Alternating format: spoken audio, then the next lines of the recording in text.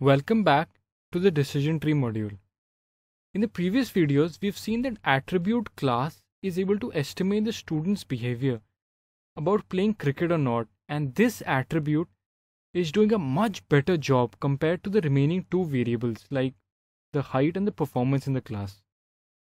If you recall, we made the split on all the available features and then compared each split to decide which one was the best. That is how the decision tree algorithm also works. It first splits the nodes on all the available variables and then selects the split which results in most homogeneous subnodes. Homogeneous here means having similar behavior with respect to the problem that we have. If the nodes are entirely pure, each node will only contain a single class and hence they will be homogeneous. So intuitively, you can imagine that more the purity of the nodes, more will be the homogeneity. There are multiple algorithms which are used by decision tree to decide the best split for the problem. Let's first look at the most common and popular out of all of them, which is Gini impurity. It measures the impurity of the nodes and is calculated as 1 minus Gini, as you can see in this slide. Let's first understand what Gini is, and then I'll show you how you can calculate the Gini impurity for splits and decide the right split. Let's say we have a node like this. So what Gini says is that if we pick two points from a population at random, the pink ones highlighted here, then they must be from the same class. Let's say we have a completely pure node. Can you guess what would be the probability that a randomly picked point will belong to the same class? Well, obviously it will be 1 since all the points here belong to the same class. So no matter which two points we pick, they will always belong to that one class and hence the probability will always be 1 if the node is pure. And that is what we want to achieve using Gini. Gini ranges from 0 to 1 as it is a probability. And the higher this value, more will be the purity of the nodes. And of course, a lesser value will mean lesser pure nodes.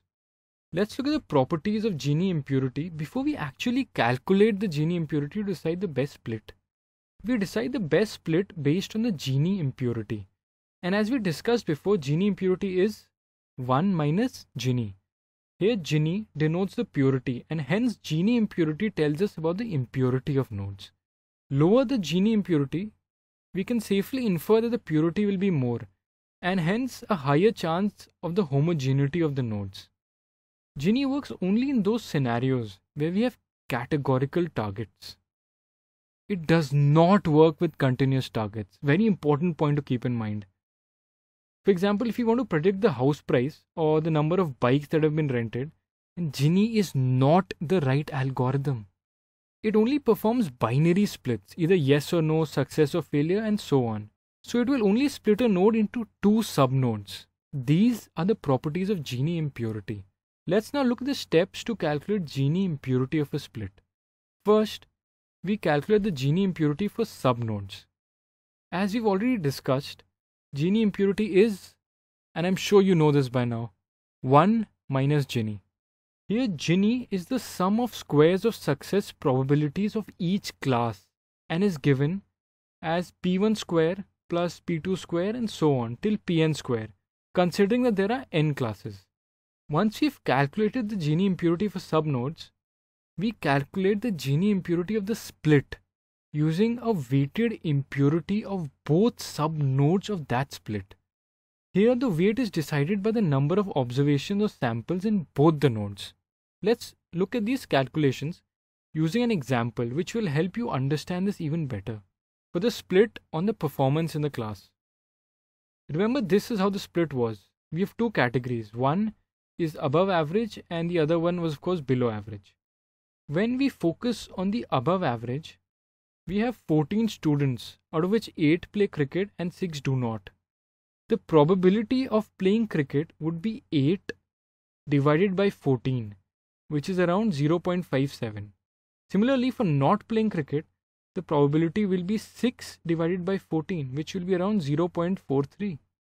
Here, for simplicity, I've rounded off the calculations rather than taking the exact number. Similarly, when we look at below average, We calculated all the numbers and here they are. Probability of playing is 0.33 and of not playing is 0.67. Let's now calculate the Gini impurity for the sub-node for above average. And here's the calculation. It will be 1 minus square of probability of success for each category, which is 0.57 for playing cricket and 0.43 for not playing cricket. So after this calculation, the Gini impurity comes out to be around 0.49 for this above average node.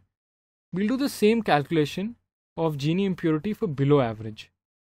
It comes out to be around 0.44. If you want, you can pause the video here and just analyze these numbers and plug them in yourself.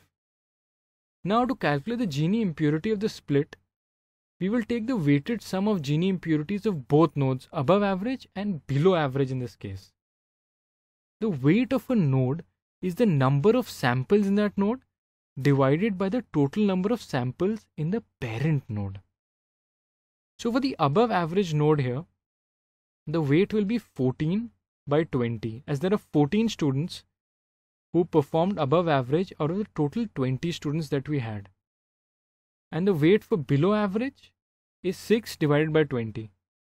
So the weighted Gini impurity will be the weight of that node multiplied by the Gini impurity of that node. The weighted Gini impurity for performance in class split comes out to be 0.475 after we perform this calculation. Similarly, here we have calculated the Gini impurity for the split on class which comes out to be around 0.32. I strongly recommend you to do these calculations on your own and then come back and match your values with the ones that we have shown in this slide. Now, if we compare the two Gini impurities for each split, we'll see that the Gini impurity for the split on class is less. And hence, class will be the first split of this decision tree.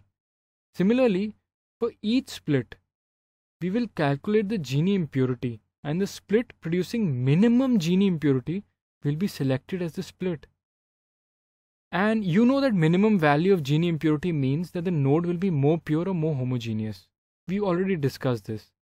In the next video, we look at another method that is used to decide the best splitting point, which is chi-square.